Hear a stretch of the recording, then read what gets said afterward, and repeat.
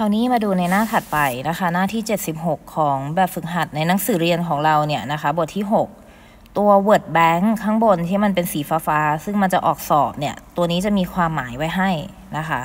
มันจะแบ่งออกเป็น 2 คอลัมน์ก็คือ verb ก็คือคำกริยาใช่ไหมนะคะ มีคำกริยาแล้วก็มี noun ก็คือคำนามนั่นเองนะคะ มีอยู่ 2 แบบ ซึ่งจะเห็นได้ว่าจริง ๆ แล้วความหมายมันใกล้เคียงกันมากนะคะ เพราะว่าตัวหนึ่งเป็นคำนามตัวหนึ่งเป็นคำกริยา ซึ่ง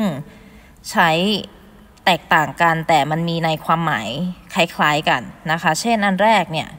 apply apply ก็คือสมัครเรียนหรือสมัครงานตามด้วย preposition to นั่นเองนะคะ ดังนั้นอย่างเช่นบอกว่าอะไร ถ้าเราอยากใช้คำกริยาคำกริยาต้องมีประธานใช่ไหมมันต้องมีประธานก่อน เช่น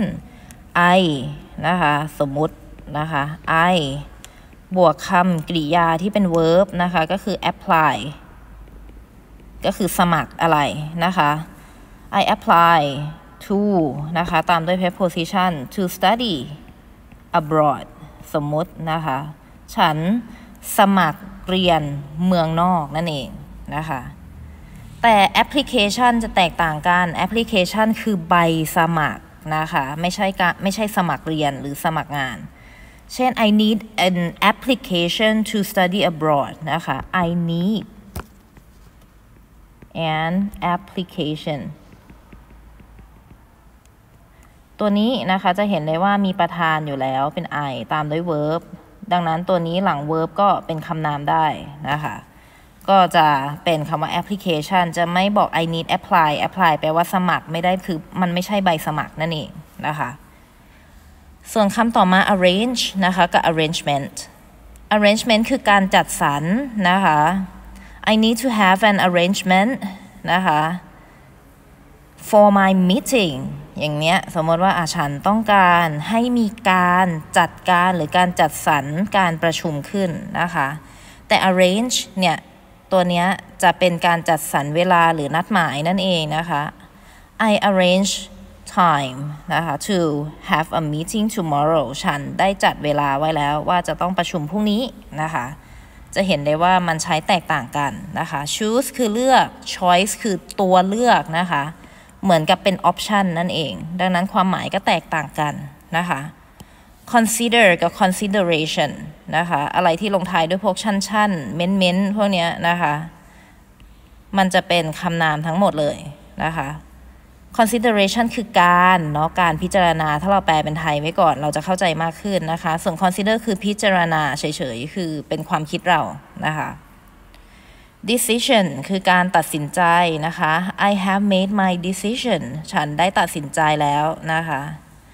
แต่ถ้าเกิด decide ที่เป็นตัดสินใจตัวนี้จะไม่มี make เข้ามา มันจะเป็น I decide to นะคะ I decide to to อะไร to ทำอะไรบางอย่างนะคะ แต่ I have made my decision เนี่ยจะไม่มี จะไม่มีพวกคำอื่นตามหลังนะคะ หรือว่าอาจจะมีก็ได้ เช่น I have made นะคะ แต่ว่ามันจะไม่ได้อยู่ตรงนี้ไง เพราะว่ามันมีคำว่า made อยู่แล้วนะคะ มันไม่ใช่ I have decided คือมันเป็น I have made นะคะ ได้ทำอะไรทำการตัดสินใจเพื่อนะคะ เพื่อจะไปทำอะไรต่อก็แล้วแต่นะคะต่อมา intent แปลว่าตั้งใจแต่ intention คือความตั้งใจนะคะ ตัวนี้ก็จะแตกต่างกันเช่นการใช้ intent เหมือน design ก็คือเป็น รูปแบบของคำกริยานะคะ I intend to study abroad หรือ I have my intention to study abroad นะคะ จะเห็นได้ว่ามันแตกต่างกัน ต่อมา plan นะคะ ตัวนี้ง่ายหน่อย plan มีทั้งที่เป็นคำนามและคำกริยา ซึ่งจะแปลคล้ายๆกัน คือ plan คือการวางแผนนะคะ I have a plan ฉันมี